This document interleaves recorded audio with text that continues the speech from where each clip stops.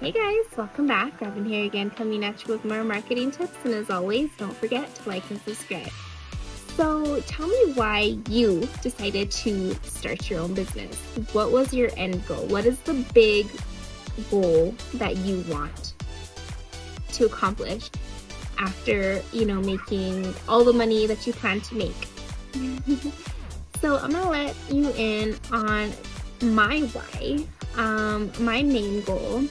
Um, there's something me and my husband are very passionate about, and that's actually, um, we love the outdoors. We're very outdoorsy, and we also do um, hunting, fishing, camping, everything that has to do with the mountains, outdoors. Um, we are very, very passionate about it. So one day we decided that we wanted to um, own our own outfitters ranch and do our own guided hunts and that type of thing.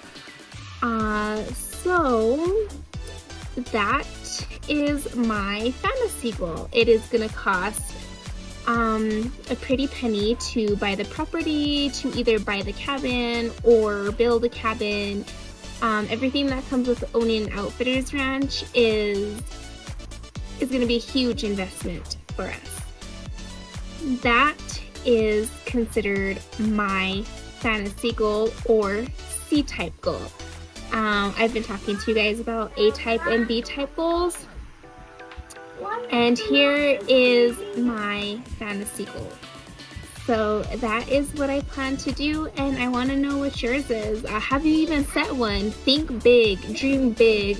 Um, there's nothing you can't do. The higher you aim, the bigger the goal is, the more you're going to work for it. You know, the more you want it, you're going to go for it. That's that's just why we do what we do, right? There has to be an end goal. There has to be a fantasy goal. And if you haven't already, set one and work your way towards it, whether it's baby steps or large steps. However you do it, get to it. I believe you can do it. Alrighty, so that concludes the sequence on setting the right type of goals, especially for the new year. Um, look out for more videos from yours truly. And don't forget, like, subscribe, hit the bell, click the links below, and I'll see you guys next time. Bye!